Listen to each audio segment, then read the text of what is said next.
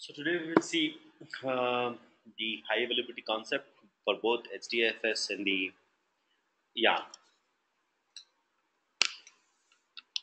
So HA. So it is so. Uh, what is high availability means? So in the previous case, in the one.x, your name node was a single point of a failure okay. Uh, so please don't misunderstand. Secondary name node has a different concept altogether. It is not a backup name node. So name node was single point of failure which means that if the name node is down uh, you will uh, the HDFS will be inaccessible. So you're not you'll not be able to do any operations on the HDFS okay.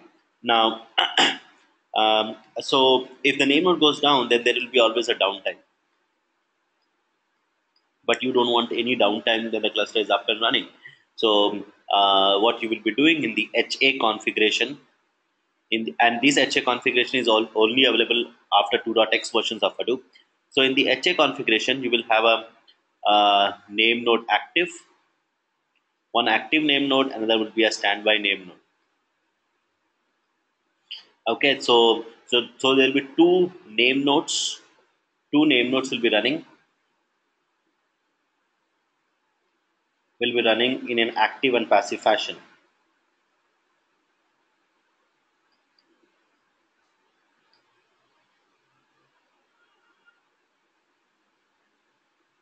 So if one the active goes down, the passive will take over and become the active. So at any given point of time, but remember only one name node will be active name node.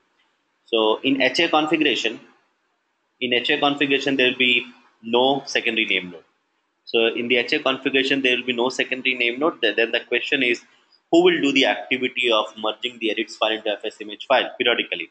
So if there is no secondary name node, so the standby name node, uh, the standby name node will do the activity or will perform the response, will perform the activities of secondary name node, but there will be no secondary name node, but the uh, standby name node will perform the activities of secondary name node. Yeah.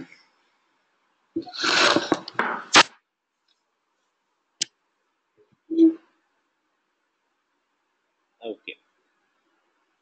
So we are going to see that how to configure um, uh, name node in a high availability mode.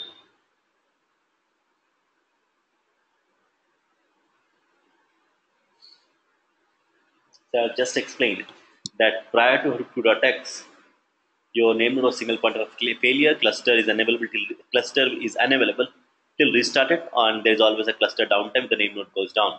So the motivation of having an HA is to have um, two or more redundant name nodes should be present in case of in, in case of crash or failure. So two or more redundant name nodes working in active and passive fashion. Working in active and passive fashion so that uh, if active goes down, the passive can take over the cluster activities and the client request and everything so that there is no cluster downtime. So there is no cluster down. That's the main important thing. You don't want to have any cluster downtime when the name node goes down. Okay, so the feature, the HDFS HA feature gives you option of running two or more name nodes in an active and passive fashion, in an active and passive fashion. So, and also if active goes down, it allows a fast failover to new name node. That is basically your passive can become active automatically. Okay, and useful, it is useful for the plant maintenance also. And the third, for, last bit is you do, will not have secondary name node running now. In HDFS HA, will not have a secondary name node running. Uh, the passive name node will act as your secondary name node, which means that the passive name node will not only become the active name node in the case of the in, in case the active name node goes down, but also meanwhile it will be also perform the activities of the secondary name node. And what is that? Uh, what is that activity of the secondary name node? It's merging periodically merging the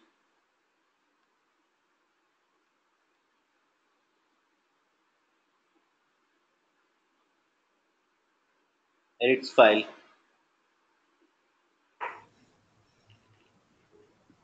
FS image file. Okay. And I hope you remember that why we want the periodical merging of the into FS image file. because the next time the cluster restart, it should not take too much of a time to take up, right? It should not uh, be in the safe mode for a longer amount of time. Yeah. yeah. So um, that's it. And how do we do that? The architecture wise, uh, the two or more machines are configured as one as an active, other as a slave. So, so what it is basically means to say that the two name nodes will be running in two different machines.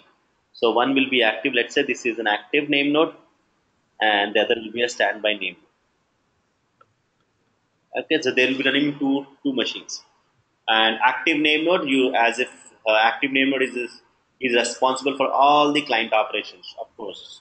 And the passive or the standby name node maintains enough state to provide a fast failover.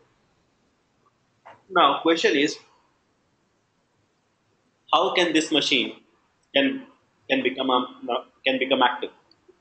Now, how this machine, in fact, or any other machine, can become an active, can become a name node, can become a name node, or can can perform the activities of a name node. So, any machine, uh, if they know the edits file and the fs image file, if they have the entire edits file and the fs image file information with them, then they can become the active name node. Then they can become the uh, or they, they have the capability to become the name node. So what does it do when the standby name node, when um, in meanwhile when the active name node is running, the standby name node will maintain the enough state, enough state in the sense that standby name node will periodically, you will see that it will periodically take up this edits file and the fs image file from the active name node and keep it with him, and so that uh, it has enough time, it has enough state. Uh, that's what it means. It has it maintains enough state so that as soon as it goes down, it has all the information uh, uh, with him, uh, the standby name, so that it can so that it can come up automatically. So for that purpose, what they do is to have they choose another guy. They, they choose another set of guys which are known as journal nodes. Now you will have a two other process. You have a new process coming into picture, which is a journal nodes, and the journal nodes responsibility is to make sure that at any given point of time only one name node is active. At any given point of time,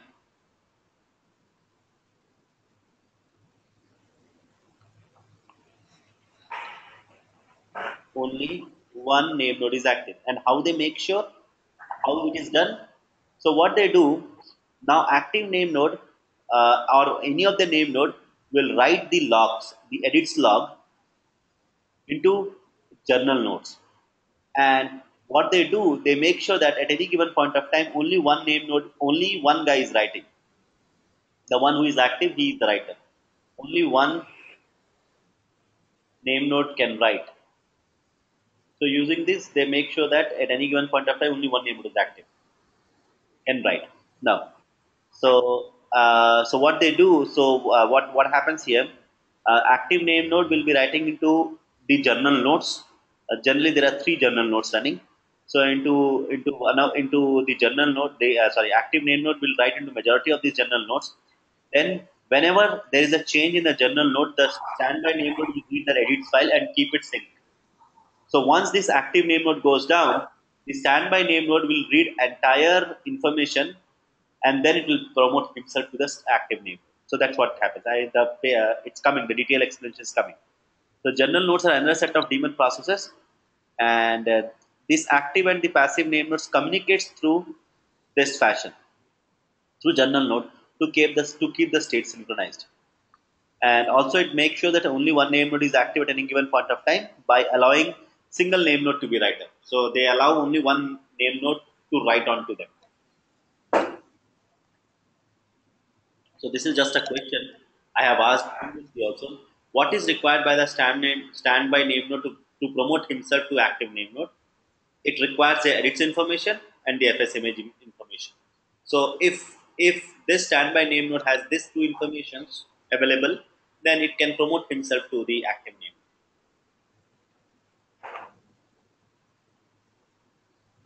And how information is passed? So here it says that how information is passed from your active name node to the passive name node.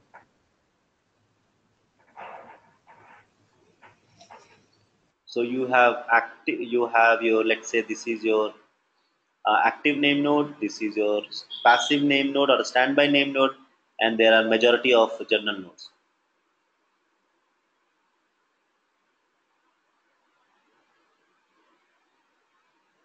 These are my journal nodes, active node, passive node. So this is my active name node.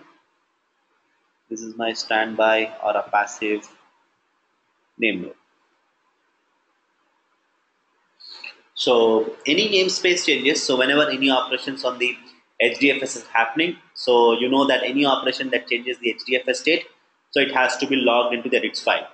So any of this, any namespace changes by the active name node, logs are recorded the modification to this node. So the edits file will be written here now. so the edits files are written on the majority of these journal nodes. Now standby name node, these guys are continuously watching the journal nodes for any changes in the edits file. So they are watching here. So as soon as as soon as anything is changed over here, they get the information and then they what they say they they uh, modify on their own side. So in case of a failure, standby name node ensures that it has read all the edits file from the journal nodes before promoting itself to active state. Now in this case, now you know that in the previous case, the data nodes are configured with the location of only one name node, right? So what was the name node, uh, name node address in the previous scenario? Before HA, non-HA, fs dot default fs value was hdfs colon slash slash your host address name colon 54310. Now you will see that it will be like now it's a namespace ID will be introduced now. So data nodes are configured with the location of both the name nodes now. And um, um, so why they are configured with the location of both the name nodes so that in case um, whenever who is who is active so they can send the uh, heartbeat signal. Now during failover, standby name node assumes the role of writing to the journal nodes which prevent other name node from continuing the active state. So whenever the fail, when when it is getting the fail, so he he is now what this bit is trying to tell you that he is currently the writer. He is this active name node is currently the writer. Now during failover, what will happen? This guy will become writer. So standby name node will become writer so that no other can become so that no other name node also can become can become an active state. So at any given point of time, journal node allows only one uh, name node to become a writer.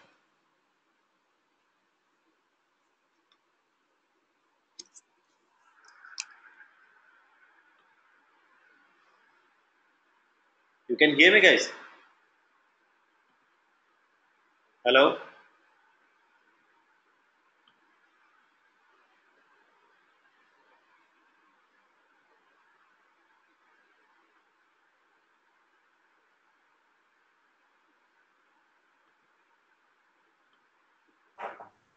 Hello. Hello. Wir bin.